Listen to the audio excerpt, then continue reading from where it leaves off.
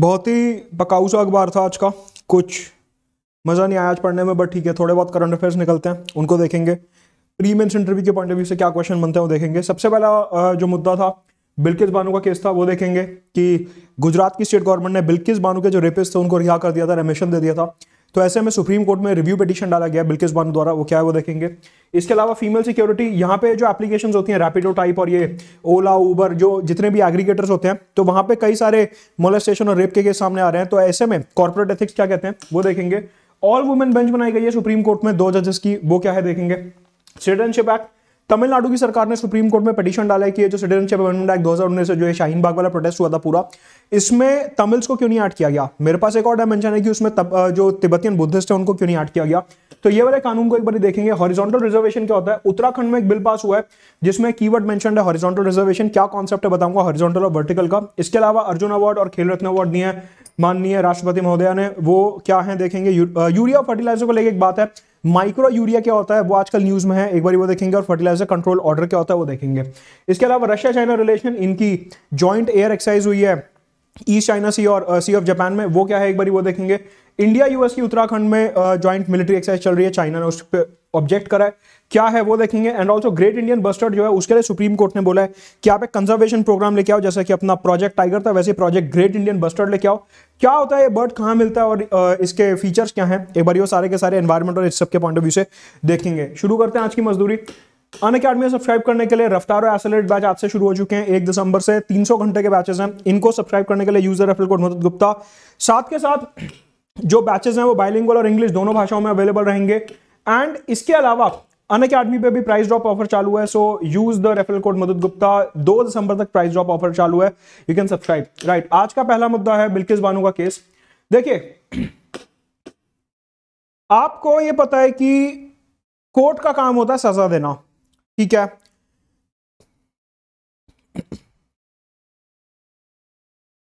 तो ये जो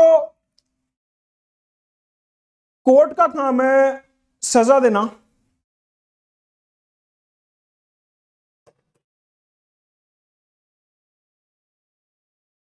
अगर आपको कोर्ट की पनिशमेंट से रेमिशन चाहिए मतलब कि आप वहाँ से छूटना चाहते हो तो उसके लिए आपके पास कई सारे सोल्यूशन पॉसिबल हैं। प्राइमरीली अगर आपको कोर्ट ने सपोज़ करिए उम्र कैद की सजा दी है या फांसी की सजा दी है तो आपके पास ऐसे केस में तीन पॉसिबल रास्ते होते हैं। कोर्ट क्या? जुडिशरी हमारे डेमोक्रेसी में तीन स्तंभ होते हैं। Judiciary legislature and executive judiciary अगर आपको कोई पनिशमेंट दे रहा है और आप उस पनिशमेंट से बाहर निकलना चाहते हो तो आपके पास तीन रास्ते होते हैं। प्रेसिडेंट एक गवर्नर और एक स्टेट गवर्नमेंट पॉलिटी में आपने ऑलरेडी पढ़ा कि प्रेसिडेंट और गवर्नर के पास रेमिशन की पावर होती है, जहाँ पे वो pardon commute remit respite reprieve कर सकते हैं। कि मतलब अगर कोई भी पनिशमेंट मिल रही है तो ऐसे में प्रेसिडेंट और गवर्नर जो कि एग्जीक्यूटिव के हेड है प्रेसिडेंट यूनियन एग्जीक्यूटिव के हेड और गवर्नर स्टेट एग्जीक्यूटिव के हेड वो अपनी पावर का इस्तेमाल करके, अपनी जुडिशियल पावर का इस्तेमाल करके आपके सेंटेंस को रेमिट कर सकते हैं मतलब आपकी सजा को कम कर सकते हैं, आपको माफीनामा दे सकते हैं, जिसको मर्सी पटिशन भी बोले आता है।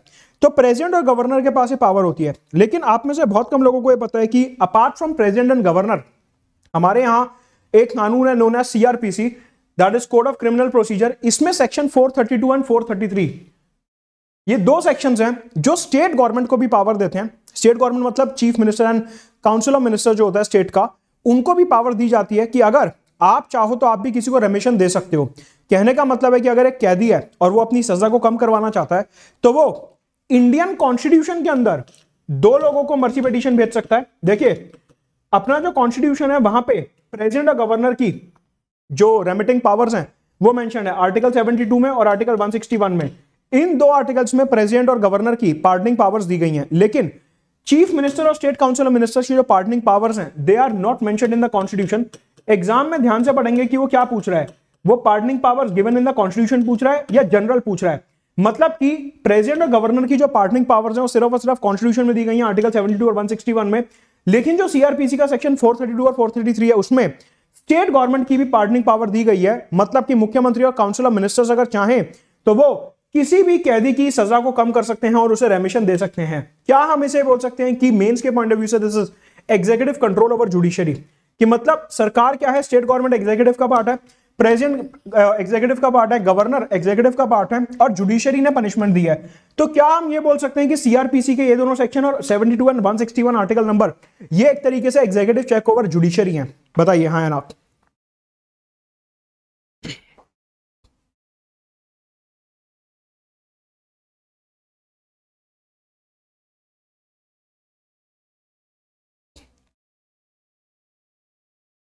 ठीक है? तो बिल्किस बानू, ये 2002 में जो गुजरात में राइट्स होते हैं 2002 में गुजरात में जो राइट्स होते हैं, उस टाइम पे बिल्किस बानू एक महिला है जिनका रेप होता है और उनके जो रेपिस्ट हैं, वो गुजरात की जेल में बंद थे। उन्होंने गुजरात की स्टेट गवर्नमेंट को सीआरपीसी के अंडर एप्लीकेशन डाली और गुजरात की सरकार ने उनको रेमिशन दे दिया। मतलब कि गुजरात की सरकार ने उनको उम्र कैद पूरा होने से पहले रिहा कर दिया। मतलब कि उनकी जो पनिशमेंट थी वो पूरी होने से पहले ही उनको रिहा कर दिया। तो ऐसे में बिल्किस बानू ने सुप्रीम कोर्ट में एक पिटीशन डाला और यह बोला कि गुजरात स्टेट गवर्नमेंट ने सेक्शन 432 और 433 का मिसयूज करा है। उन्होंने ये जो है बिना एप्लीकेशन ऑफ़ माइंड के, बिना बुद्धि का प्रयोग करे, बिना दिमाग का प्रयोग करे, उन्होंने डिसीज़न लिया और मैं सुप्रीम कोर्ट में स्टेट गवर्नमेंट का डिसीज़न चैलेंज करना चाहती हूँ। तो बिल्किस बानू ने सुप्रीम कोर्ट में केस डाला है कि गुजरात स्टेट गवर्नमेंट ने जो रेमिशन का यहाँ पे डिसीज़न लिया है, वो गलत है और बेसिकली उन्होंने उनके डिसीज़न के खिलाफ यहाँ पे सुप्रीम कोर्ट में चैलेंज करा है। तो यहाँ पे जो मेजर मुद्दा मेरे को बताना था वो ये था कि एग्जीक्यूटिव के पास तीन तरीके से पावर होती है जुडिशरी के डिसीज़न को ओवरटर्न करने की। एक स्टेट गवर्नमेंट सीआरपीसी के अंदर 72 और 161 के अंदर प्रेसिडेंट और गवर्नर की power in the Indian constitution बाकी तो सुप्रीम कोर्ट देखेंगे क्या जजमेंट देगा। यह मुद्दा क्लियर है?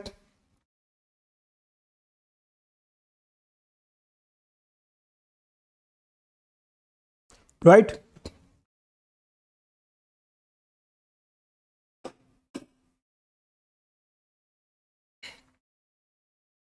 तो हमने यहाँ पे मेंस का एस्पेक्ट देख लिया प्रिलिम्स का एस्पेक्ट देख लिया और प्रिलिम्स में स्पेसिफिकली मेंशन होगा कि कॉन्स्टिट्यूशन के अंदर किसको पार्टनिंग पावर दी गई है। तो आप लिखोगे सिर्फ़ प्रेसिडेंट गवर्नर और जनरल अगर हम क्रिमिनल जूरिस्प्रूडेंस की बात करते हैं जनरल अपने क्रिमिनल सिस्टम की बात करते हैं तो उसमें किसको रेमिशन की पावर दी गई है? प्रेसिडेंट को गवर्नर को और सेक्शन 432 433 के अंदर स्टेट गवर्नमेंट को। यहाँ पे एक चीज़ और ध्यान रखेंगे कि जो स्टेट गवर्नमेंट डिसीज़न लेती है यहाँ पे वो कई सारे फैक्टर्स कंसिडर करती है। बेसिकली एक रिव्यू बोर्ड बनाया जाता है।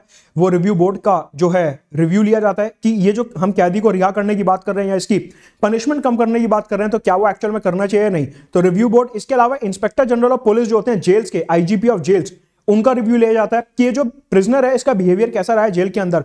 ये सारे के सारे फैक्टर कंसिडर करके जो अपना स्टेट गवर्नमेंट है, वो डिसीज़न लेती है रिव्यू बोर्ड और आईजीपी जेल के रिकमेंडेशन पे। अगला मसला है फीमेल सिक्योरिटी एंड रैपिडो इधर एक वो बड़ा सा सेलिब्रिटी आता है कहता है, मान बब्बन की सलाह रैपिडो ही चला। अभी वो आजकल गायब है। इधर क्या हो रहा है? देखिए रैपिडो एक एग्रीगेटर है, जहाँ पे आप बाइक बुक कर सकते हो कि एक जगह से दूसरी जगह जाना है। तो ऐसे में उसका ड्राइवर जो है वो एक रेप केस में पकड़ा गया है कि उसने एक कस्टमर का, जो राइडर थी, जो महिला ने वो बाइक बुक करी थी, उसके रेप केस में इनका एक ड्राइवर पकड़ा गया और बाद में जब पुलिस ने तहकीकात करी, बाद में जब तहकीकात हुई तो पता चला कि जो ड्राइवर है, पहले भी ऐसे केसेस में अंदर फंस चुका है। तो क्वेश्चन मार्क यहाँ पे ये उठता है, महिला सिक्योरिटी के पॉइंट ऑफ़ व्यू से GS paper one social issues के पॉइंट ऑफ़ व्यू से। GS paper one social issues के पॉइंट ऑफ़ व्यू से, यहाँ पे मेजर मसला ये उठता है कि अगर ये जो कंपनी वाले हैं, ये जो ड्राइवर्स को हायर कर रहे हैं, अब आप देखिए यहाँ पे अलग अलग केसेस हो सकते हैं। आपने बीच में कुछ टाइम पहले केस सुना होगा कि वो जोमेटो वाले के ऊपर एक महिला ने इल्ज़ाम लगा दिया था कि इसने मेरे साथ छेड़खानी करने की कोशिश करी और एंड में पता चला वो महिला ने झूठा इल्ज़ाम लगाया था। या आपने देखा होगा कि कई बार ये ओला उबर वाले भी जो हैं, इनके भी कई ड्राइवर ऐसे रेप केस मोलेस्टेशन केस वगैरह में पकड़े गए हैं। करेक्ट आया ना? बताइए।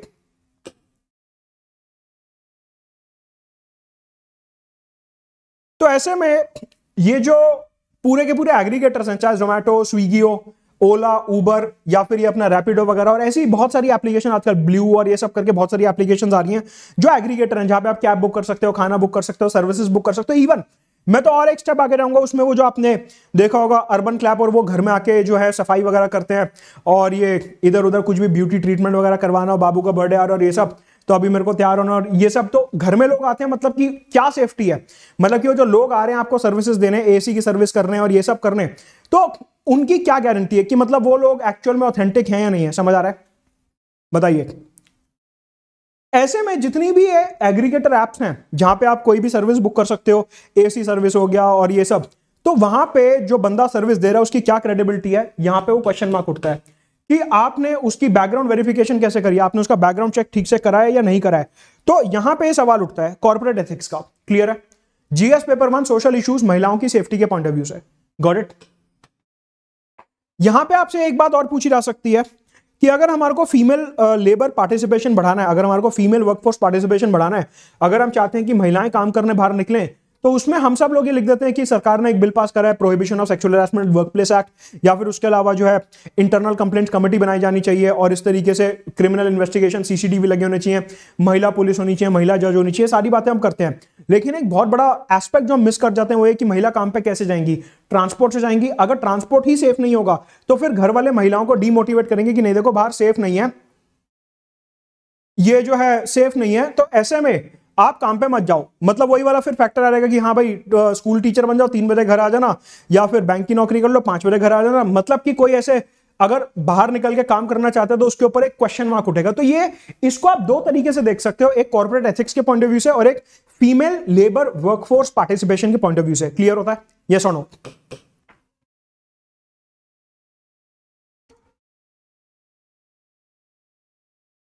अगला मुद्दा। Female bench in supreme court ये एक छोटा सा मसला है प्रिलिम्स के पॉइंट ऑफ़ व्यू से तो ज़्यादा इंपॉर्टेंट नहीं है मेंस में फॉर्डर पॉइंट की तरह इस्तेमाल हो सकता है। रिसेंटली सुप्रीम कोर्ट ने एक फीमेल जजेस की बेंच बनाई है, जिसमें दो फीमेल जजेस हैं। अब सवाल उठता है कि इसके पॉजिटिव और नेगेटिव क्या है। आपसे फीमेल पार्टिसिपेशन इन जुडिशरी के बारे में पूछा जा सकता है, या फिर आपसे सेंसिटाइजेशन के बारे में पूछा जा सकता है। आपको याद होगा, कल जब हम बात कर रहे थे अबाउट रेप केसेस तो वहाँ पे मैंने बताया था कि अपना जो सीआरपीसी है, वो ये बोलता है कि अगर कोई रेप का केस है तो वहाँ पे प्रेफरेबली महिला जज होनी चाहिए।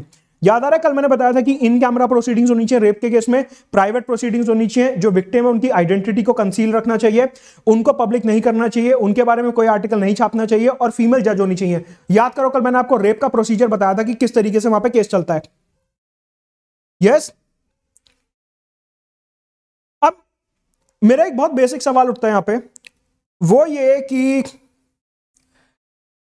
हमने हेडलाइन बना दिया कि सुप्रीम कोर्ट में एक महिला बेंच बनी, फीमेल बेंच बनी। लेकिन मेरा दूसरा क्वेश्चन यहाँ पे ये है, सुप्रीम कोर्ट में आज की तारीख में टोटल 34 जजेस की सीट है। उसमें से तीन महिलाएँ जज हैं बस। मतलब कि थ्री अपॉन थर्टी फोर आप करके देखो तो अप्रोक्सीमेटली आपको नाइन परसेंट मिलेगा आंसर महिलाओं की आबादी में प्रपोर्शन कितना है? पचास percent approximately forty eight to fifty percent supreme court में कितना प्रपोर्शन है उनका? नौ परसेंट से भी कम। एट्रोसिटीज महिलाओं के खिलाफ कम हो रही हैं, बढ़ रही हैं, बढ़ रही हैं। रेप केसेस एसिड अटैक बढ़ रहा है, कम हो रहा है, बढ़ रहा है। महिलाओं के खिलाफ छेड़खानी कम हो रही है, बढ़ रही है, बढ़ रही है। तो ऐसे में डोमेस्टिक वायलेंस बढ़ रही है। तो ऐसे में महिलाओं का नंबर जो नौ परसेंट क्यों है? क्वेश्चन मार्क ये उठता है। फीमेल जजेस की बेंच बनाई बहुत अच्छा स्टेप है। इसमें कुछ गलत नहीं है। ये पॉजिटिव स्टेप है। लेकिन अगर आप जेंडर सेंसिटाइजेशन के पॉइंट ऑफ़ व्यू से बात करते हो कि हमारे यहाँ महिलाओं को जस्टिस कब मिलेगा when will females get justice तो उसका एक बहुत बड़ा फैक्टर है कि महिलाएँ जब तक वकील, यानी कि एडवोकेट और जजेस नहीं बनेंगी, तब तक जुडिशरी के अंदर जेंडर सेंसिटाइजेशन नहीं आएगा। तो अगर आप एक्चुअल में जुडिशियल सिस्टम को जेंडर न्यूट्रल बनाना चाहते हो और महिलाओं के फेवर में करना चाहते हो तो यहाँ पे सुप्रीम कोर्ट में महिलाओं के जजेस की होने की ज़रूरत है। करेक्ट यस और नो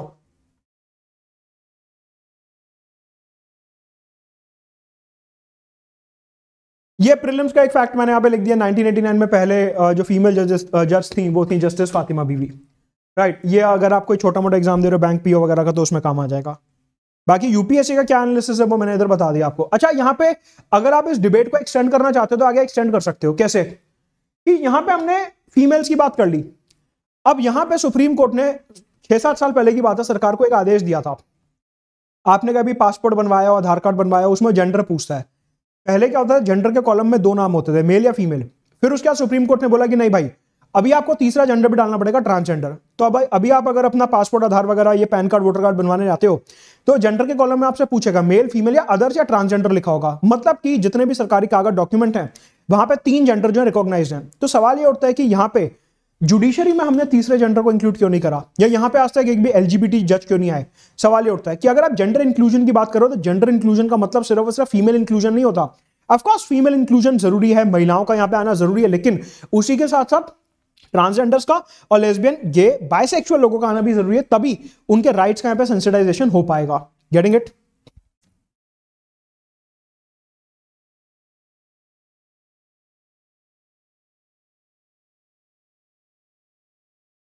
अगला मुद्दा।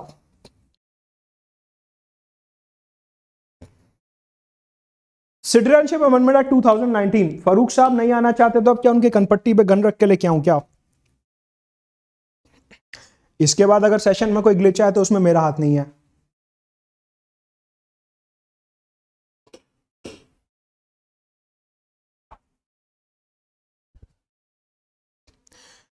आपको पता है कि 2019 में एक कानून पास हुआ था that is citizenship amendment act 2019 जहाँ पे बोला गया था कि पाकिस्तान, अफ़गानिस्तान और बांग्लादेश से जो भी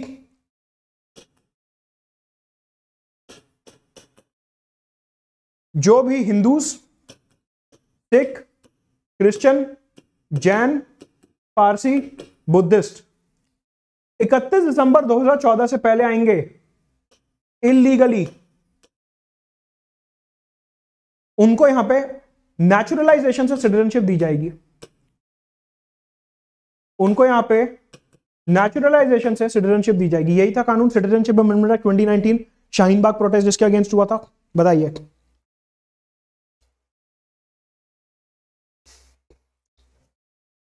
अग्रेसिव होने की क्या बात करते हैं आप? जान दे देंगे इसके लिए।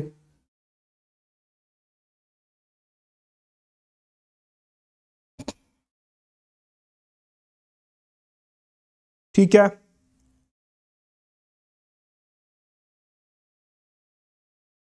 तो ऐसे में पाकिस्तान, अफ़गानिस्तान और बांग्लादेश से जितने भी हिंदू, सिख, क्रिश्चियन, जैन, पारसी, बुद्धिस्ट आएँगे, इकतीस दिसंबर 2014 से पहले इलीगली उनको भारत की नागरिकता दे दी जाएगी मतलब कि उनको फास्ट ट्रैक सिटीजनशिप दे दी जाएगी right known as fast track citizenship यही वर्ड यूज़ हुआ बिल में। फास्ट ट्रैक सिटीजनशिप यही कीवर्ड यूज़ हुआ है बिल में। फास्ट ट्रैक सिटीजनशिप दे दी जाएगी राइट हाँ ठीक है। और इसका लॉजिकल बेसिस ये था कि ये फास्ट ट्रैक सिटीजनशिप उन लोगों को दी जाएगी कि बेसिकली अगर हम अफ़गानिस्तान पाकिस्तान और बांग्लादेश की बात करते हैं तो तीनों इस्लामिक देश हैं। बांग्लादेश का ऑफिशियल रिलीजन इस्लाम है, पाकिस्तान का ऑफिशियल रिलीजन इस्लाम है, अफ़गानिस्तान का ऑफिशियल रिलीजन इस्लाम है। ये तीनों के तीनों का ऑफिशियल रिलीजन जो है इस्लाम है। ऐसे में यहाँ पे जो धार्मिक अल्पसंख्यक है मतलब कि रिलीजियस माइनॉरिटीज हैं, उनका यहाँ पे रिलीजियस परसिक्यूशन धर्म के नाम पर उत्पीड़न हो रहा था। भारत सरकार ने बोला कि हम मॉरल हाई ग्राउंड अटेन करते हुए, हम महात्मा गांधी की आइडियोलॉजी को फॉलो करते हुए कि हमारे को किसी का भी उत्पीड़न नहीं बर्दाश्त करना है, जो यहाँ पे नॉन मुस्लिम्स हैं, जिनका उत्पीड़न हो रहा था, हमने बोला कि आप इंडिया में आ जाओ, हम आपको फास्ट ट्रैक सिटीजनशिप देने को तैयार हैं। तो ऐसे में जिन लोगों का रिलीजियस परसिक्यूशन हुआ है, सिर्फ़ उनको यहाँ पे फास्ट ट्रैक सिटीजनशिप दी जाएगी। ये कीवर्ड आपको नोट करना है। रिलीजियस परसिक्यूशन जिनका हुआ है, धर्म के नाम पे उत्पीड़न जिनका हुआ है, सिर्फ़ और सिर्फ़ उन्हें यहाँ पे फास्ट ट्रैक सिटीजनशिप दी जाएगी नेचुरलाइजेशन के अंदर। करेक्ट बताइए सर हाँ या ना? जिनका रिलीजियस परसिक्यूशन हुआ है, सिर्फ़ और सिर्फ़ उन्हें ही यहाँ पे सिटीजनशिप मिलेगी नेचुरलाइजेशन के अंदर, हिंदू, सिख क्रिश्चियन जैन, बुद्धिस्ट, पारसी।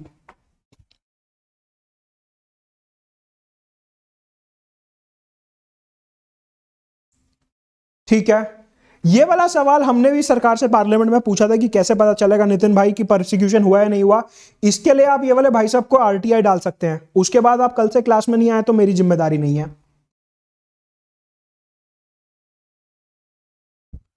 ठीक है। अब देखिए, यहाँ पे कई क्वेश्चन उठते हैं। क्वेश्चन ये कि आपने पाकिस्तान, अफ़गानिस्तान और बांग्लादेश का रिलीजियस प्रोसिक्यूशन देख लिया। आपने म्यांमार का रिलीजियस प्रोसिक्यूशन क्यों नहीं देखा? पॉइंट नंबर वन आपको यह पता है कि म्यांमार में रोहिंग्या मुस्लिम्स जो हैं, वो माइनॉरिटी में हैं, ऐसे में जो रोहिंग्या मुस्लिम्स हैं, उनको म्यांमार की मिलिट्री ने डरा धमका के भगा दिया, जो आज बांग्लादेश के कॉक्सिस बाज़ार एरिया में रह रहे हैं। आपने उनको शेल्टर क्यों नहीं दिया? आपने उनको सिटीजनशिप क्यों नहीं दी? सबसे पहला क्वेश्चन ये होता है कि वो भी तो परसिक्यूटेड है। म्यांमार की मिलिट्री ने रखाइन स्टेट से, ये म्यांमार का रखाइन स्टेट है, म्यांमार की मिलिट्री ने रखाइन स्टेट से रोहिंग्या को जो भगाया, वो भाई साहब धर्म के नाम पे तो भगाया कि आप बुद्धिस्ट नहीं हो, आप मुस्लिम हो, आप भागो यहाँ से। तो जब वो भी रिलीजियसली परसिक्यूटेड है तो आपने उन्हें सिटीजनशिप क्यों नहीं दी? पॉइंट नंबर वन म्यांमार के रोहिंग्या मुस्लिम्स को सिटीजनशिप क्यों नहीं मिली? करेक्ट हाँ ना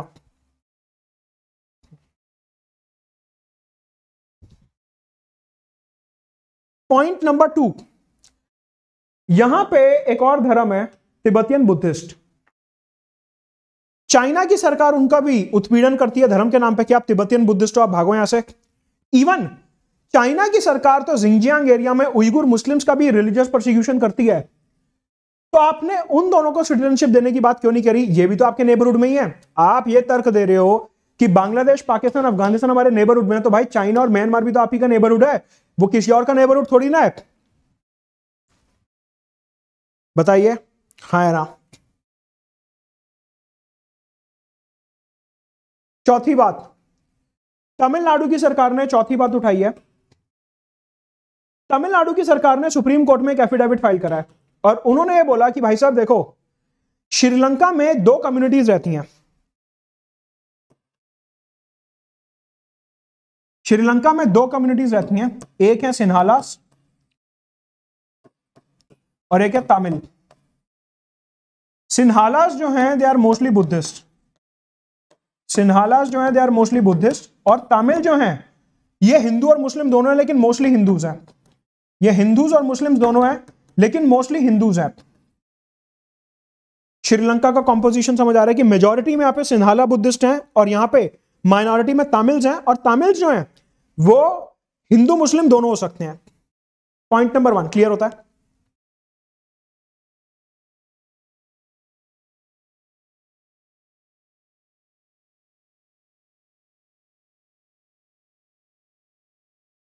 ठीक है? तो तमिलनाडु की स्टेट गवर्नमेंट ने बोला कि भाई जब यहाँ पे तमिल्स का भी परसिक्यूशन हो रहा है, जब इधर तमिल्स का भी परसिक्यूशन हो रहा है तो आपने इस बिल के अंदर तमिल्स को क्यों नहीं इंक्लूड करा? ऐसे बहुत से तमिल्स हैं जो श्रीलंका से अपनी जान बचा के भागते हैं और तमिलनाडु आ जाते हैं। वो लोग यहाँ पे रह रहे हैं इलीगली तो तमिलनाडु की सरकार ने बोला कि भाई आपने नॉन मुस्लिम्स को तो यहाँ पे शेल्टर दे दी, जो पाकिस्तान, अफ़गानिस्तान और बांग्लादेश से आ रहे हैं। सही बात है, देनी भी चाहिए, लेकिन आपने यहाँ पे तमिल्स को क्यों नहीं इंक्लूड करा? जबकि आपको पता है कि श्रीलंका में तमिल्स के साथ बहुत ज़्यादा एट्रोसिटीज होती हैं। तो ये जो आप बिल लेके आए हो, ये आर्टिकल 14 के खिलाफ है मतलब कि राइट टू इक्वालिटी जो है, उसके खिलाफ है। आर्टिकल 14 के खिलाफ ये बिल जाता है। क्यों? क्योंकि यहाँ पे आपने म्यांमार के रोहिंग्या यहाँ के तिब्बतियन बुद्धिस्ट उइगुर मुस्लिम्स और तमिल्स को शेल्टर नहीं दिया सिटीजनशिप देने की बात नहीं करी। उनके राइट्स यहाँ पे वायलेट हो रहे हैं एंड हेंस ये बिल अनकॉन्स्टिट्यूशनल है, ऐसा तमिलनाडु की सरकार ने क्लेम करा है। एक एक पॉइंट क्लियर हो गया।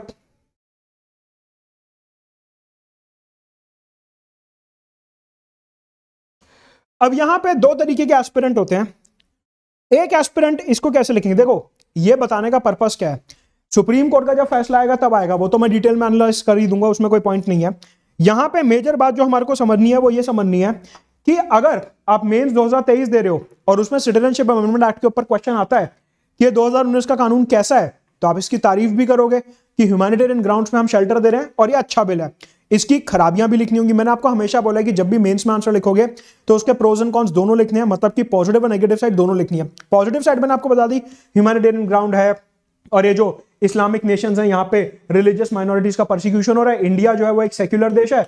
हमारे यहाँ वो सेफली रह सकते हैं, इसलिए हम उन्हें यहाँ पे बुला रहे हैं। तो ये सारी की सारी तारीफ़ आप लिख सकते हो। लेकिन अगर हम खराबियों की बात करें तो खराबी में आप ये चार चीज़ें लिख दोगे Rohingya Tibetan Buddhist Uyghur Muslims और तमिल श्रीलंका वाले। इनको हमने क्यों एक्सक्लूड करा इसका कोई लॉजिकल रीजन नहीं है जबकि इनका भी प्रोसिक्यूशन हो चुका है। तो इस तरीके से आप इसको नेगेटिव में यूज़ कर लोगे पॉइंट को। अब एस्पिरेंट क्या लिखेगा? Government of Tamil Nadu Tamils have been in, uh, excluded from the bill and hence it is a bad bill. इस टाइप की ये बाबू सोने वाली लैंग्वेज नहीं लिखनी स्कूल से बाहर आ चुके हो आप। तो कोई अच्छी लैंग्वेज लिखनी है। मतलब कि the bill is in violation of Article 14 in a way that it excludes Rohingya Muslims from Myanmar, Tibetan Buddhists from Tibet, Uyghur Muslims from China, and Tamils from Sri Lanka, all of which have been religiously persecuted. Clear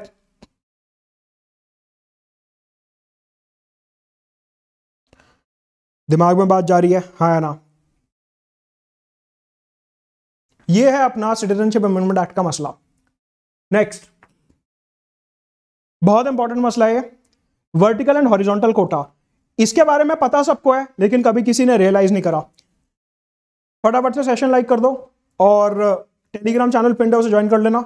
यहाँ पे PDF मिल जाएगा lecture का। Session like कर दो सब।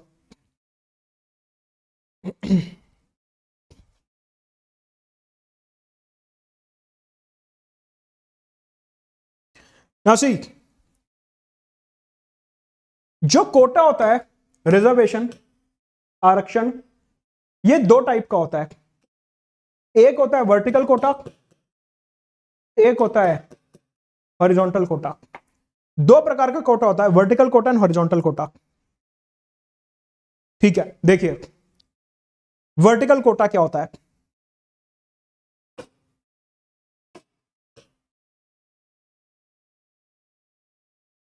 ये suppose करिए हमारी पॉपुलेशन है।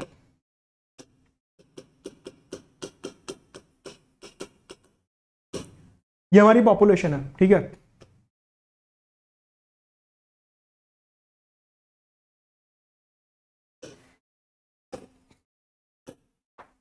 सपोज़ ये है general class S C S T E W S OBC रटना नहीं है, सिर्फ़ समझना है। क्या आपको दिख रहा है कि मैंने ये पॉपुलेशन में डिविजन्स क्रिएट कर दिए।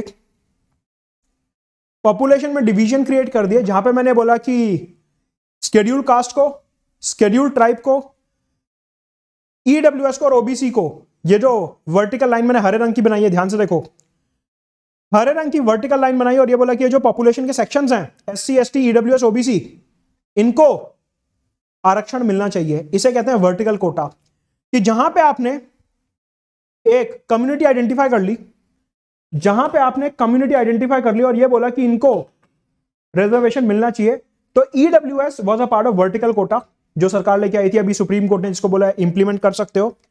S C S T OBC E W S ये चारों वर्टिकल कोटा का पार्ट है कि पूरी पॉपुलेशन में आपने वर्टिकल लाइन डाली और बोला कि जो एससी वाले कॉलम में आ रहे हैं, उनको रिजर्वेशन एसटी वाले कॉलम में आ रहे हैं, उनको रिजर्वेशन ईडब्ल्यूएस वालों को रिजर्वेशन और ओबीसी वालों को रिजर्वेशन वर्टिकल रिजर्वेशन ये पॉइंट समझ आता है? That what is vertical reservation exactly yes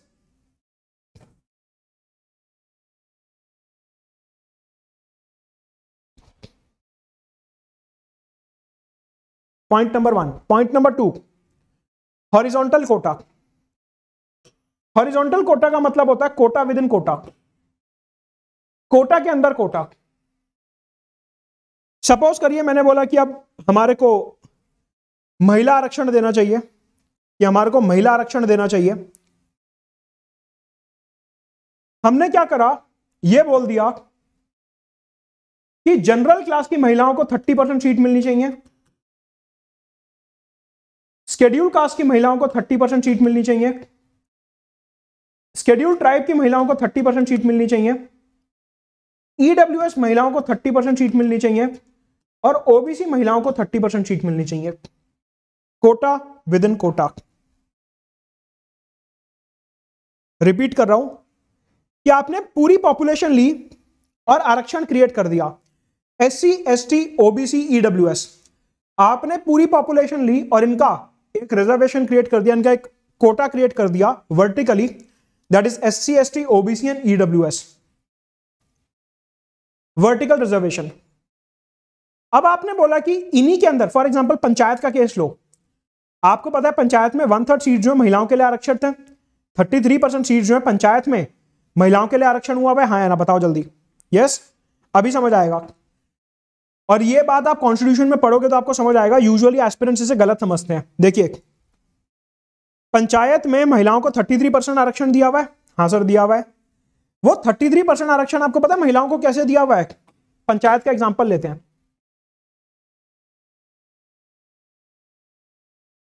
suppose करिए पंचायत की सीट्स हैं।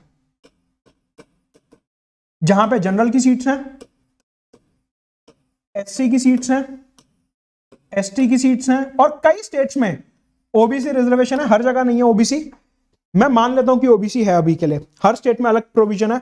तो अभी के लिए मान लेते हैं कि ओबीसी प्रोविज़न है। ये पंचायत का सीन है, ये ईडब्ल्यूएस होता नहीं पंचायत में तो मैंने ईडब्ल्यूएस बनाया नहीं सपोज़ ठीक है।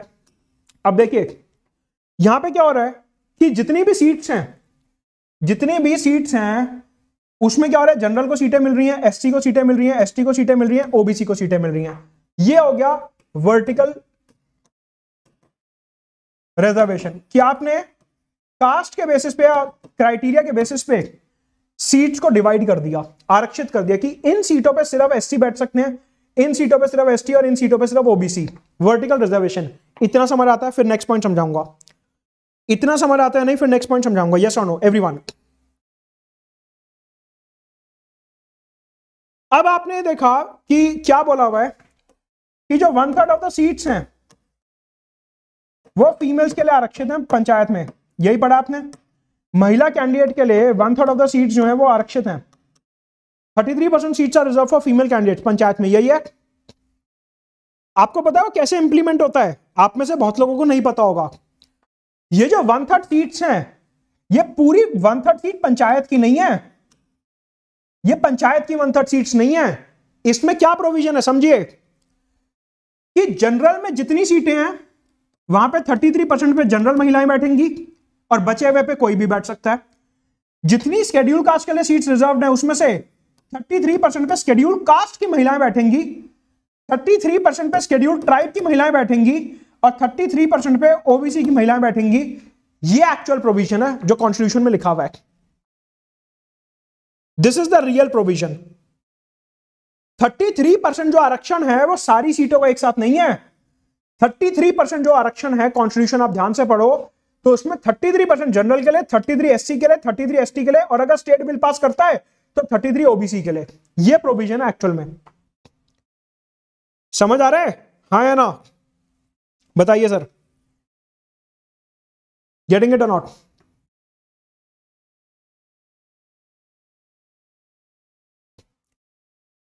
आरक्षण के अंदर आरक्षण। Quota within quota. दिखता है? Quota within quota. दिखता है हाँ ना?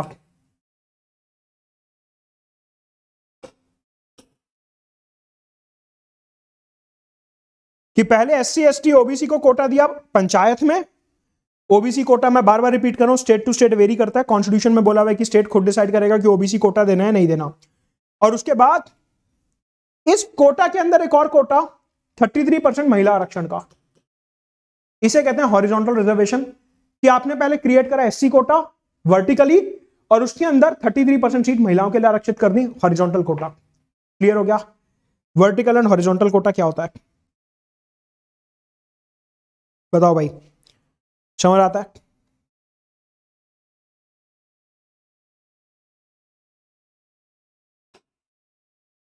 ये दो प्रीलिम्स के फैक्चुअल पॉइंट्स हैं। स्पोर्ट्स की आजकल न्यूज़ आती है कई बार तो।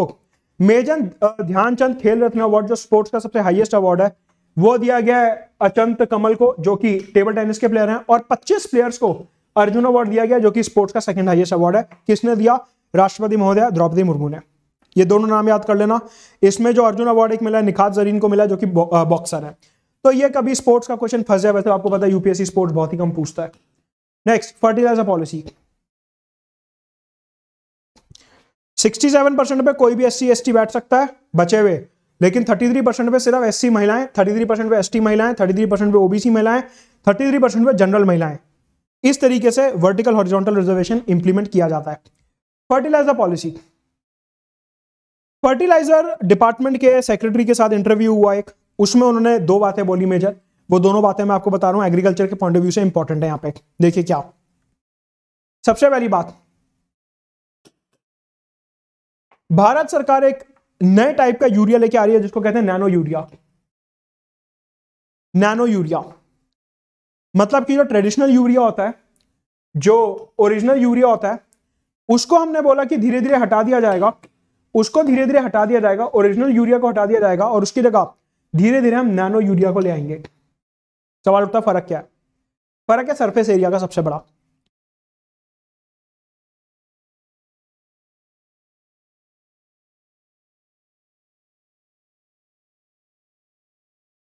केमिस्ट्री में एक प्रॉपर्टी होती है।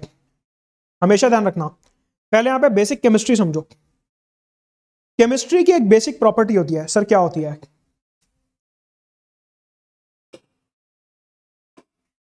आपने कभी कपूर यूज़ करा है? जो वो पूजा में कपूर इस्तेमाल होता है, जो स्क्वायर शेप में आता है व्हाइट कलर का कैम्फर यूज़ करा कभी?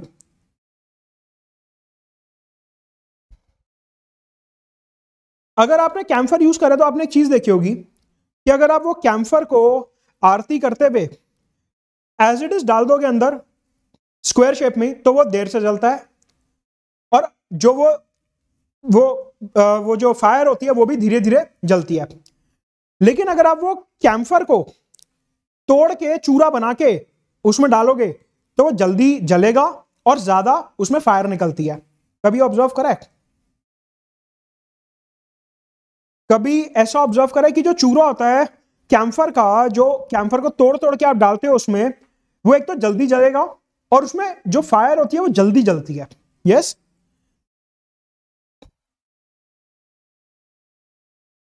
ये नो नो नहीं चलेगा, मैं बता रहा हूँ, ऐसा होता है।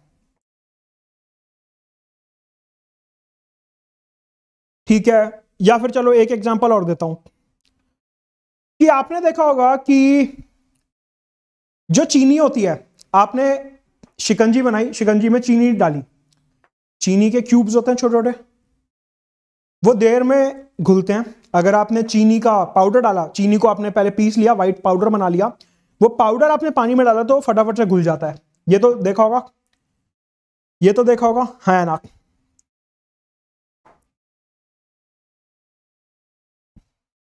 यस कि जो चीनी का पाउडर होता है, वो जल्दी घुलता है पानी में और चीनी के जो क्यूब्स होते हैं क्रिस्टल्स ऑफ़ शुगर वो देर से घुलते हैं।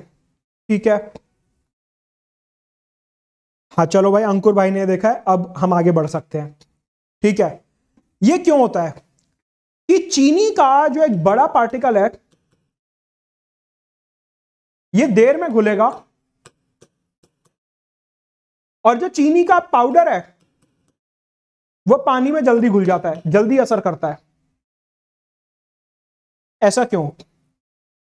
उसका केमिस्ट्री वाला रीजन ये है कि अगर आप ये पूरा एरिया मेजर करोगे ना, ये पूरा एरिया आप देख रहे हो बारिश का सरफेस एरिया ये कम होता है।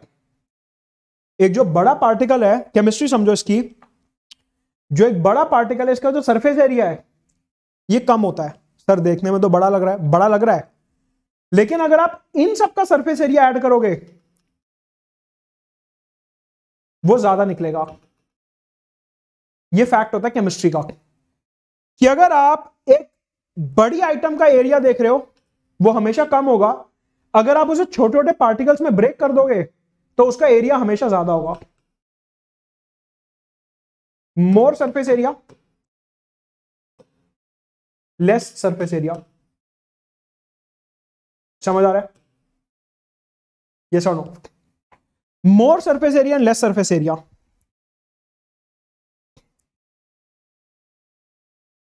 अगली बार चीनी वाला एग्जांपल याद रखना सरफेस एरिया में। तो अब मेरे को एक बात बताओ दैट हमारे रिएक्शन स्पीड के लिए कि अगर हमारे को फटाफट से काम कराना है तो बड़ा पार्टिकल अच्छा है या छोटा पार्टिकल अच्छा है? अगर हमारे को फटाफट से काम करवाना है, बहुत तेज़ी से काम करवाना है रिएक्शन स्पीड बढ़ानी है तो उसके लिए बड़ा पार्टिकल अच्छा है या छोटा पार्टिकल अच्छा है? टाइगर श्रॉफ क्या बोला था? छोटे पार्टिकल हो क्या? वो इसीलिए बोला था। राइट. ठीक है, एक बात। तो ये जो यूरिया है, ये है नॉर्मल यूरिया। और ये है नैनो यूरिया। बताओ, ज़्यादा जल्दी काम कौन करेगा? Nano urea, normal urea. ज़्यादा जल्दी काम कौन करेगा खेत में?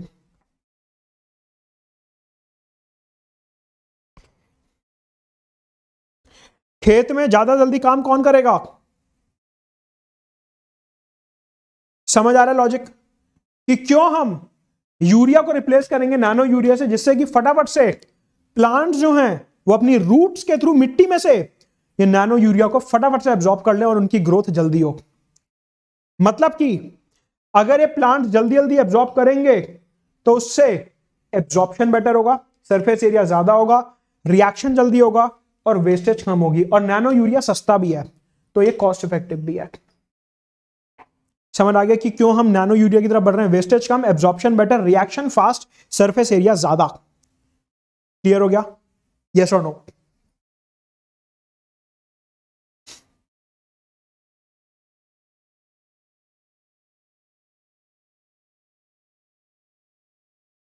तो ये सरकार की आजकल एक पॉलिसी चल रही है कि हम नैनो यूरिया को प्रमोट करेंगे rather than urea because of these factors mains GS paper three के पॉइंट ऑफ़ व्यू से साइंस एंड एग्रीकल्चर के पॉइंट ऑफ़ व्यू से, यहाँ पे मैंने पॉइंट्स लिख दिए पीडीएफ में डाल दूँगा टेलीग्राम पर देख लेना इसके अलावा फर्टिलाइज़र सेक्रेटरी ने ये बात बोली कि हम रशिया से अभी चीप फर्टिलाइज़र इंपोर्ट करते रहेंगे जब तक भारत को फ़ायदा हो रहा है। तो ये तो मैं कई बार आपको बता ही चुका हूँ कि रशिया से हम इंपोर्ट करते रहेंगे। एवरीवन करेक्ट अन अकेडमी पे सब्सक्रिप्शन अवेलेबल है ज़ीरो परसेंट ई user referral code Madad Gupta also C SAT के बैचेस शुरू हो रहे हैं अकेडमी पे, उसको एनरोल करेंगे using the referral code Madad Gupta. Optional के बैचेस अवेलेबल है इंग्लिश हिंदी बाइलिंगुअल में do use the referral code for ten percent discount अगला मसला रशिया चाइना रिलेशन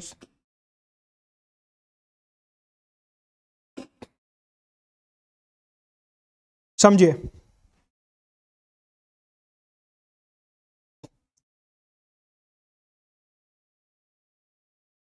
एक एनालिसिस आया सामने।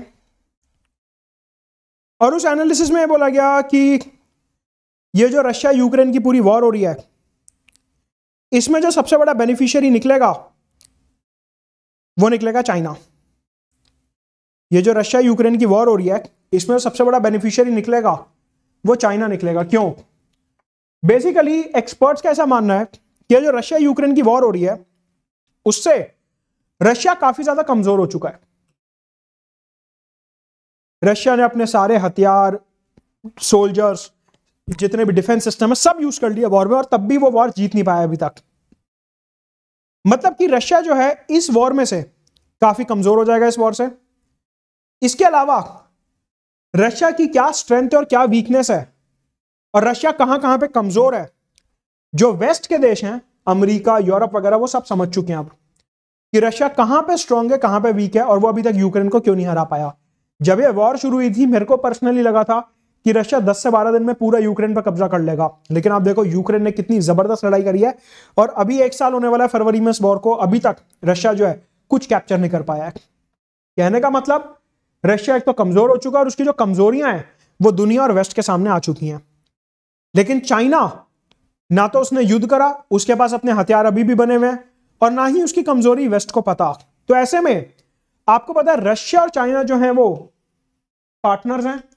ऐसे में इस वॉर के खत्म होने के बाद रशिया जो है वो चाइना के ऊपर काफ़ी ज़्यादा डिपेंडेंट हो जाएगा कि भाई आप मेरे को यूएस से बचाओ आप, क्योंकि मेरे तो हथियार खत्म हो चुके हैं।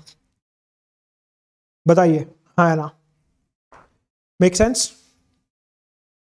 कि रशिया जो है वो चाइना के ऊपर डिपेंड हो जाएगा बहुत ज़्यादा कि आप मेरे को हथियार दो, क्योंकि मेरे अपने हथियार जो है वो तो खत्म हो चुके हैं मेरे को आपसे हथियार खरीदने पड़ेंगे और ऐसे में इस वॉर के बाद चाइना के ऊपर रशिया की डिपेंडेंसी बढ़ेगी और चाइना जो है वो और ज़्यादा स्ट्रांग हो रहेगा क्योंकि रशिया भी फिर उसके ऊपर डिपेंडेंट हो जाएगा। मेक सेंस बताइए। हाँ यार, आप।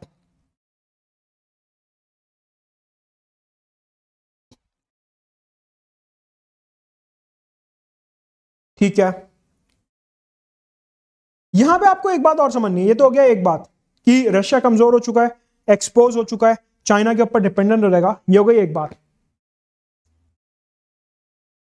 दूसरी बात ये कि अभी अगर हम यूनाइटेड नेशंस में जितने भी प्रपोजल्स आए हैं, उनको एनालाइज करें यूनाइटेड नेशंस में जितने भी प्रपोजल्स आए अगर हम उनको एनालाइज करें तो हमारे को यह दिखता है कि चाइना ने हर प्रपोजल में रशिया के फेवर में वोट करा है राइट चाइना ने हर प्रपोजल में रशिया के फेवर में वोट करा है और इंडिया ने हमेशा एब्सटेन करा है। मतलब इंडिया ने मल्टी अलाइनमेंट की पॉलिसी के अंदर सारे रेजोल्यूशन में एब्सटेन करा है।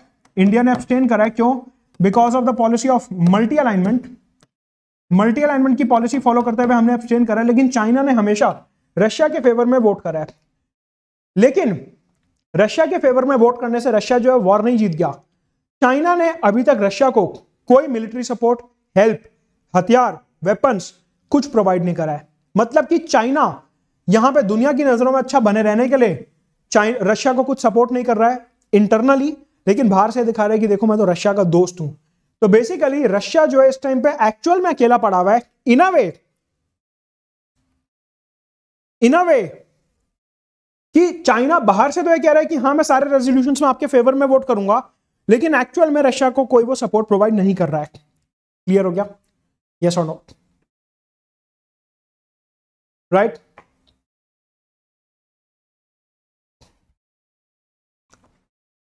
also recently Russia और चाइना की पैसिफिक ओशन में एक जॉइंट एक्सरसाइज होती है एयरफोर्स की, जहाँ पे वो एक दूसरे की एयरफोर्स के साथ अपनी ट्रेनिंग वगैरह करते हैं और ये कहते हैं मतलब बेसिकली सिंबॉलिक थी। यहाँ पे वो ये सिग्नल देना चाह रहे हैं कि नेटो जो है वो रशिया को प्रवोक कर रहा है। तो जैसे नेटो में सारे देश आपस में साथ हैं, वैसे ही रशिया और चाइना भी एक दूसरे के साथ हैं। कहने का मतलब है, ये जो एक्सरसाइज हुई है अभी रिसेंटली वेस्टर्न पैसिफिक ओशन में sea of Japan east China sea में जो एक्सरसाइज हुई है, इसका सिंबल ये है कि रशिया और चाइना एक है। रशिया चाइना नेटो के खिलाफ है। रशिया और चाइना साथ में खड़े हैं। चाइना जो है वो रशिया के साथ खड़ा है। बेसिकली इस एक्सरसाइज का मतलब ये है। इसमें कुछ बहुत ज़्यादा घुसने की ज़रूरत नहीं है, बनने को तो इसके ऊपर अलग से 20 मिनट का क्लिक बेट वीडियो बन सकता है। लेकिन एस्पिरेंट के पॉइंट ऑफ़ व्यू से बहुत ज़्यादा इंपॉर्टेंट नहीं आपको सिर्फ़ ये समझना है क्रक्स एक रशिया कमज़ोर हो जाएगा चाइना के ऊपर डिपेंडेंट हो जाएगा। चाइना रशिया के साथ है इंटरनली बहुत ज़्यादा सपोर्ट कर नहीं रहा। लेकिन इन दोनों की जो दोस्ती है, वो बनी रहेगी और दोनों ही नेटो और अमेरिका के खिलाफ हैं।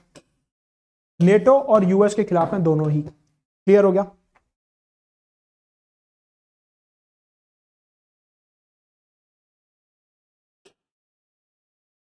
Next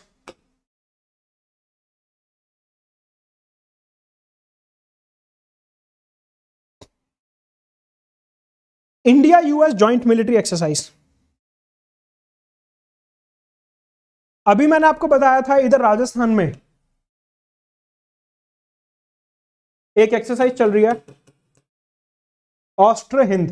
बताया था? राजस्थान में एक एक्सरसाइज चल रही है ऑस्ट्र हिंद, ऑस्ट्रेलिया और इंडिया की। ऑस्ट्र हिंद। और अब मैं आपको ये बता रहा हूँ कि इधर उत्तराखंड में यूएस और इंडिया की जॉइंट मिलिट्री एक्सरसाइज चल रही है।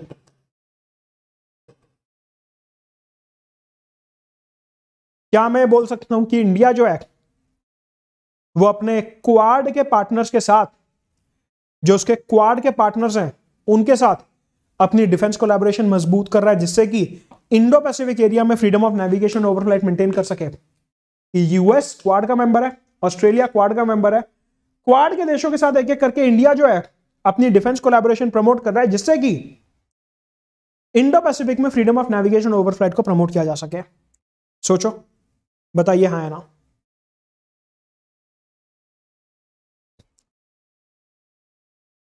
कि मतलब इंडिया जो है वो इन देशों के साथ, अपने क्वाड वाले देशों के साथ,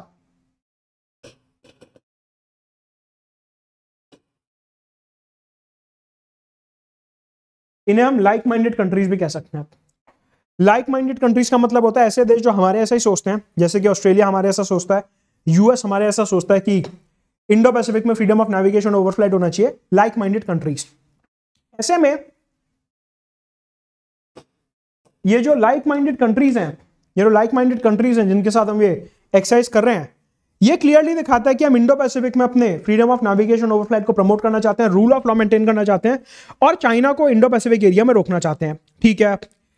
ये जो इंडिया और यूएस की एक्सरसाइज हो रही है, ये उत्तराखंड में हो रही है इंडिया चाइना बॉर्डर के बहुत पास। मतलब कि जो एल है line of actual control India और चाइना के बीच में, उस लाइन से सिर्फ़ और सिर्फ़ हंड्रेड किलोमीटर दूर ये एक्सरसाइज हो रही है, उस लाइन से सिर्फ़ और सिर्फ़ हंड्रेड किलोमीटर दूर।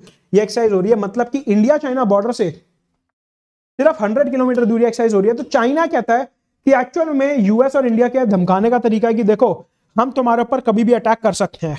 चाइना इसको ऐसे देख रहा है, बल्कि हमारा तो ऐसा कोई इंटेंशन नहीं है। आपको एग्ज़ाम में क्या लिखना है? अगर आपसे इंटरव्यू में मेंस में पूछा जाता है कि इंडिया ने जो यूएस के साथ एक्सरसाइज करी, चाइना बॉर्डर के पास, वो क्या चाइना को धमकी दी? नहीं। ये जो एक्सरसाइज हमने करी है, वो इसलिए करी है कि यहाँ पे माउंटेन टेरेन है और हम अलग अलग टेरेन्स में एक्सरसाइज करना चाहते हैं, जिससे कि हमारी आर्मीज जो है वो प्रिपेयर रहे हर सिचुएशन के लिए। ऐसे में हमने उत्तराखंड को चूज़ करा और ये जो एक्सरसाइज है सिर्फ़ इंडिया की सिक्योरिटी के लिए डिफेंस कोलेबोरेशन के लिए यूएस के साथ they are not directed against any third country they are not directed against China clear होता है? They are not directed against any third country they are not directed against China in any way correct yes और no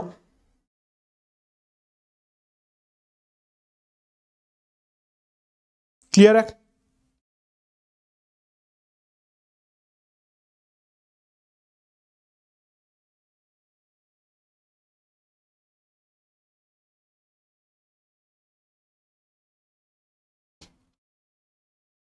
तो ये जो exercises हो रही हैं freedom of navigation overflight maintain करने के लिए, और साथ में इंडो पैसिफिक में अपना रूल ऑफ़ लॉ मेंटेन करने के लिए ये जो एक्सरसाइजेस हो रही हैं, इनको मेंटेन करना ज़रूरी है। एक बात। दूसरी बात they are not directed against any third country ये किसी भी तीसरे देश के खिलाफ डायरेक्टेड नहीं है। They are not directed against any third country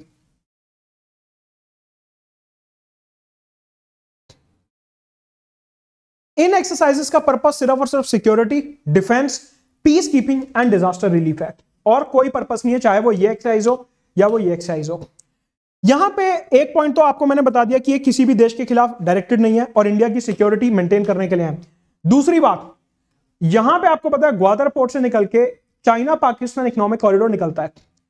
China Pakistan economic corridor निकलता है जो कि इंडिया की टेरिटरी से निकलता है। तो एक्चुअल में चाइना है जो पंचील प्रिंसिपल्स को वायलेट कर रहा है। चाइना जो हमारी टेरिटोरियल इंटीग्रिटी सॉवरेंटी के खिलाफ जा रहा है। चाइना है जो हमारी देश की बाउंड्री के खिलाफ जा रहा है। हम तो सिर्फ़ एक्सरसाइज कर रहे हैं सिक्योरिटी के लिए, जो कि चाइना के खिलाफ नहीं है, लेकिन चाइना ने जो प्रोजेक्ट बनाया है चाइना पाकिस्तान इकोनॉमिक कॉरिडोर ये एक्चुअल में इंडिया की टेरिटोरियल इंटीग्रिटी और सॉवरेंटी के खिलाफ है। कह सकते हैं? बताइए। एक बात, दूसरी बात, गलवान एरिया में चाइना ने जो अपने सोल्जर्स भेजे, गलवान एरिया में चाइना ने जो अपने सोल्जर्स भेजे, वो भी हमारी टेरिटोरियल इंटीग्रिटी सॉवरेंटी के खिलाफ था, वो भी पंचील प्रिंसिपल्स के खिलाफ था। तो ये दोनों इंस्टांसेस जो हुए हैं एक्चुअल में ये चाइना ने गलत करें। इंडिया तो अपनी टेरिटरी के अंदर अपनी सिक्योरिटी के लिए एक्सरसाइज कर रहा है, जो कि चाइना के खिलाफ नहीं है। करेक्ट दोनों पॉइंट्स क्लियर है। कि अगर आपसे इस एक्सरसाइज के बारे में पूछा जाता है तो आप चाइना की गलतियाँ बताओगे, दो, और इंडिया का स्टैंड बताओगे कि ये सिक्योरिटी के लिए डिफेंस और पीस कीपिंग के लिए not directed against China in any way correct India और चाइना ने 1993 में और 1996 में दो काफ़ी इंपॉर्टेंट अग्रीमेंट साइन कर रहे थे to maintain peace and tranquility at the borders and confidence building measures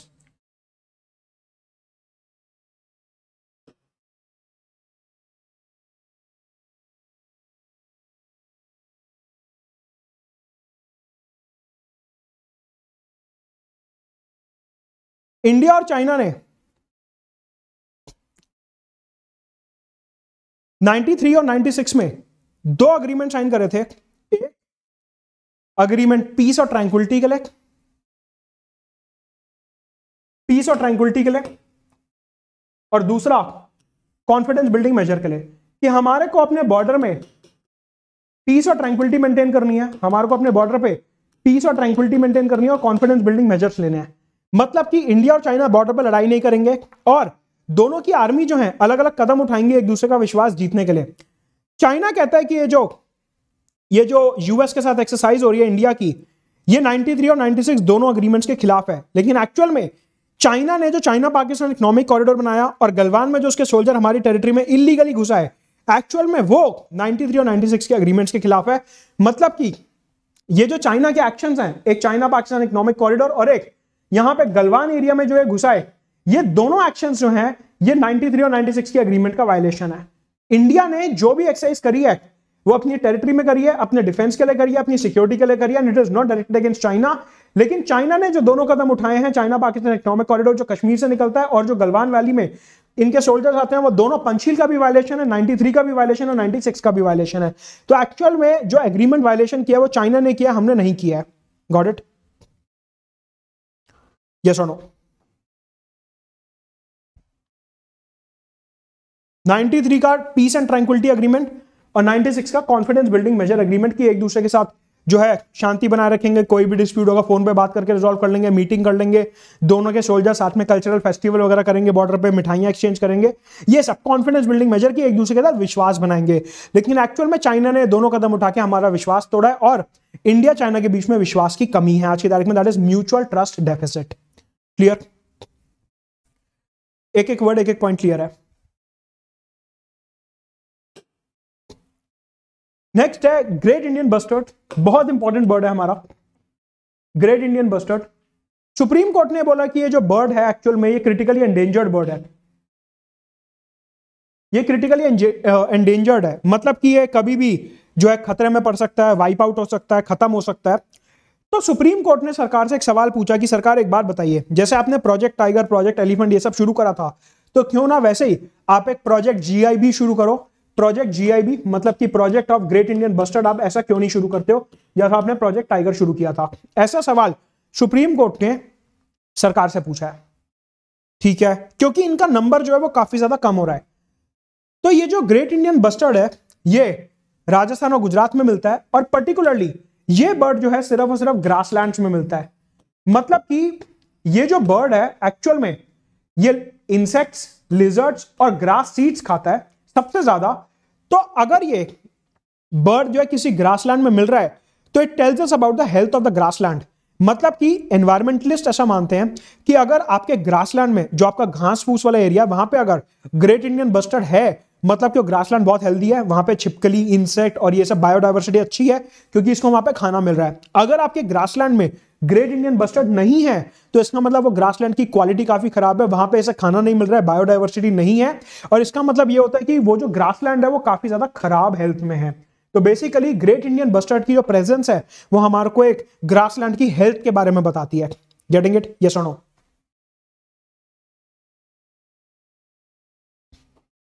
सबसे ज़्यादा ये हमारे को गुजरात, राजस्थान में मिलते हैं और ग्रासलैंड एरियाज़ में मिलेंगे, और it is one of the heaviest birds इसका वेट बहुत ज़्यादा होता है। ग्रेट इंडियन बस्टर्ड सवाल उठता है कि इनका नंबर बहुत ज़्यादा कम क्यों हो रहा है?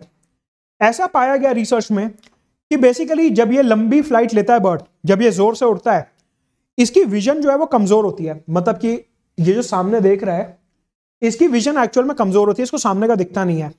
तो जब ऊपर बिजली के बड़े बड़े तार लगते हैं और ये उड़ता है, इसको तार दिखते नहीं है। जब तक दिखने शुरू होते हैं बहुत पास जाके, वो एकदम मरने की हालत में होता है। तो ये पाया गया कि इनकी जो डेथ का सबसे बड़ा कारण है, वो ऊपर लगे बिजली के तार हैं, जिनकी वजह से ये उनमें फंस जाते हैं और इनकी मृत्यु हो जाती है। तो ऐसे में सुप्रीम कोर्ट ने कुछ साल पहले एक ऑर्डर पास किया था कि जहाँ जहाँ पे ग्रेट इंडियन बस्टर्ड मिलता है, वहाँ पे बिजली के तारों को अंडरग्राउंड कर दिया जाए, सारे के सारे जो बिजली के तार है, उनको ज़मीन के नीचे पता दिया जाए। लेकिन अभी तक ऐसा कोई काम हुआ नहीं है और सुप्रीम कोर्ट ने ऐसे में सरकार को डांट लगाई है। तो लेकिन आपको इनके कॉज ऑफ़ डेथ पता होना चाहिए कि इनकी जो विजन होती है, वो पुअर होती है, जिससे इनको बिजली के तार ठीक से दिख नहीं पाते। यह है ग्रेट इंडियन बस्टर्ड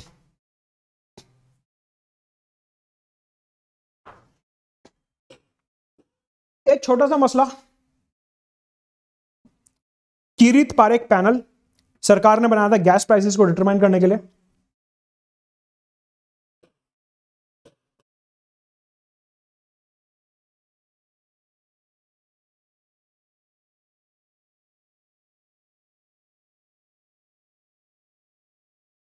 ओएनजीसी और दूसरी सरकारी कंपनियाँ जो गैस निकालती हैं कृष्णा गोदावरी बेसिन में और इधर उधर इन सब जगहों पे जो ये गैस निकालती हैं ओएनजीसी और दूसरी सरकारी कंपनियाँ, इनका गैस का प्राइस क्या होना चाहिए? ये मार्केट में गैस किस रेट पे बेचेंगी? नेचुरल गैस जो निकालती हैं, ये किस रेट पे बेचेंगी? इसको डिसाइड करने के लिए सरकार ने ये एक पैनल बनाया किरित पारेख पैनल। इस पैनल ने रिकमेंड करा कि सरकार बेसिकली ये जो सरकारी कंपनियाँ हैं ओएनजीसी और दूसरी सरकारी कंपनियाँ, गैस वाली, ये मार्केट में जो गैस बेचेंगी, वो चार डॉलर से साढ़े छह डॉलर के बीच में रेट रहेगा। Four dollar to six point five dollar per unit चार डॉलर के नीचे नहीं बेचेंगी और साढ़े छह डॉलर के ऊपर नहीं बेचेंगी। मतलब कि किरित पारेख पैनल ने बोला कि नेचुरल गैस का जो रेट है, वो इस रेंज में होना चाहिए। और उसके बाद जनवरी 2027 से जो गैस का प्राइस होगा, वो फिक्स्ड नहीं होगा। वो मार्केट डिटरमाइंड होगा। जैसे अभी पेट्रोल और डीजल का रेट मार्केट डिटरमाइंड है, रोज चेंज होता है। अभी गैस का रेट ऐसे चेंज नहीं होता। गैस का रेट जो है फिक्स रहता है कि इस साल गैस चार डॉलर पे बिकेगी, इस साल गैस साढ़े चार डॉलर पे बिकेगी, इस साल गैस पाँच डॉलर पे बिकेगी। जो गैस निकल रही है ज़मीन में से उसका रेट ऐसा होता है। कीरित पार्क पैनल ने बोला है कि अभी एक दो साल और ऐसे चला लो, लेकिन 2027 से, जनवरी 2027 से आपका जो गैस का रेट होगा मार्केट डिटरमाइंड होगा कि मार्केट में जो गैस का रेट होगा, वो रोज चेंज होगा और ये फिक्स नहीं रहेगा। ऐसा उन्होंने रिकमेंडेशन दिया गैस सेक्टर को आगे बढ़ाने के लिए। बहुत ज़्यादा इंपॉर्टेंट नहीं है, कभी ऐसे फंस जाएगा कोई सवाल बट अदरवाइज़ नो नीड छोटे मोटे एक दो मसले, गुजरात में चुनाव चल रहा है विधानसभा का तो वहाँ पे शराब और गांजा पकड़ा गया फ्रीबीज पकड़ा गया इलेक्शन कमीशन ने, और ये जो अपना एंटी टेररिस्ट स्क्वाड है, उन्होंने कुछ सामान पकड़ा। तो मतलब कि money power muscle power election free fair frequent election होने चाहिए, लेकिन ये सब चीज़ें पकड़ी आती हैं तो अपनी डेमोक्रेसी के खिलाफ है। इसके अलावा आंध्र प्रदेश में डोंकी के स्लॉटर को रोका गया कि कुछ लोग ये समझते हैं कि गधा जो है वो इतनी मेहनत करता है तो उसके मसल्स मज़बूत होते हैं। गधे का मीट खाओगे तो उससे हमारे भी मसल्स मज़बूत होंगे तो ऐसा लोगों को लगता है। तो डोंकी को रोकने के लिए आंध्र प्रदेश की पुलिस ने कई जगह पे छापा मारा है। राइट. ये थे आज के करंट अफेयर्स अन अकेडमी पे last mile interview guidance programme शुरू होने वाला है। इसके अलावा अगर आप ईपीएफओ e की तैयारी कर रहे हो तो यूज़र रेफरल कोड मदद गुप्ता सब्सक्राइब करने के लिए। आज का अखबार थोड़ा सा बोरिंग था, कुछ बहुत ज़्यादा खास था नहीं आज के अखबार में। बट जितने मुद्दे थे वो सारे के सारे कवर कर लिए। सो ये थे आज का करंट अफेयर्स समझ आया सब? यस और नो ऑल क्लियर तो रुकेंगे आज पीडीएफ डाल दूँगा टेलीग्राम पे ज्वाइन कर लेंगे। Bye bye